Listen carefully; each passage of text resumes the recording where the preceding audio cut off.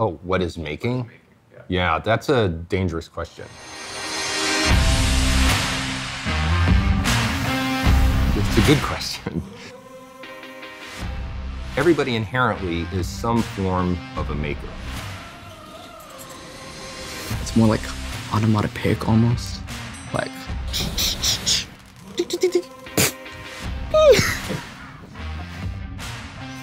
Making for me is like the sort of thing that I did when I was four years old, and I can see myself doing like 50 years down the line. It comes so naturally, and there's so much possibility and so much continuous learning.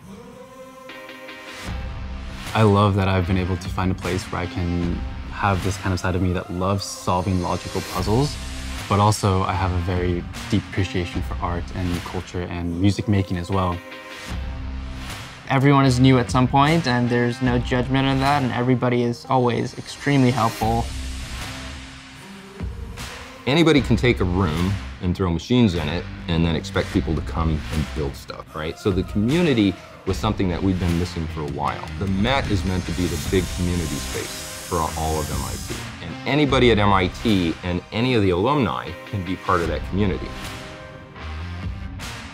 You get people mixing together, you end up with fantastic and amazing solutions. So the Met in total, the entirety of the building being a design hub, and then the maker space where all these people can come together, that's going to be a hugely powerful thing. Making at MIT really means getting your hands onto tools and materials that can help your future career. And it's being able to learn from other students.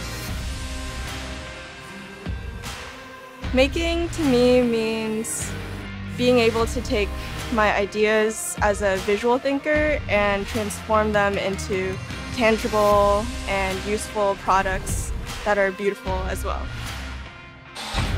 It means that I have created something with my own hands. Making means that I can make a change in this world.